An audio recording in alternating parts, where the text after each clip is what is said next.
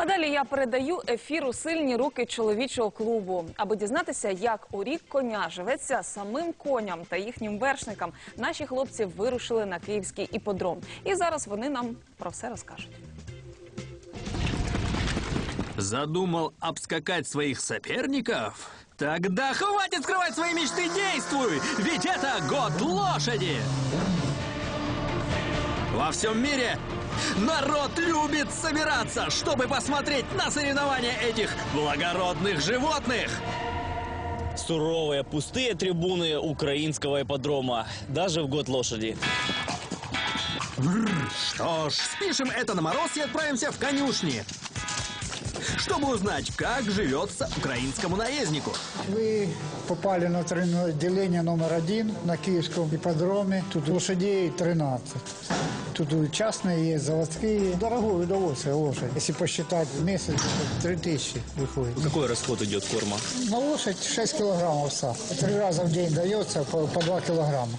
Ну что ж, ухода лошадки требует много, но ведь и положительных эмоций взамен дают немало. Поговорим-ка с владельцем. У меня все были папины, а теперь стали мои. Вот один успешный, а второй для красоты. И какие породы у вас? Это орловцы. Держать таких орловцев можно тут же. Платится отдельно ипподрому за содержание лошади на ипподроме и конюшне за то, что лошадь стоит на конюшне и с ней вот, ну, работают, ездят, с ней занимаются, ее вовремя кормят, причесывают.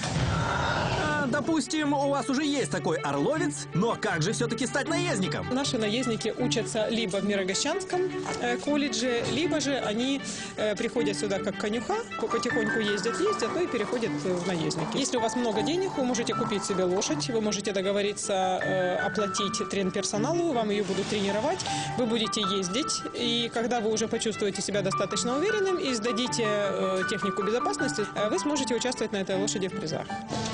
А вот и наглядный пример мастерства украинского наездника. Мне приятно, что год лошади начался с, с- у меня с победы Шороха. Я надеюсь, что и дальнейшие призы будут успешными. И Шорох еще нас порадует. Всем успехов! Причем, заметьте, победителем в таком случае становится и наездник, и лошадь, и, самое главное, ее владелец. Поздравляем! А теперь, друзья, все галопом за новыми победами!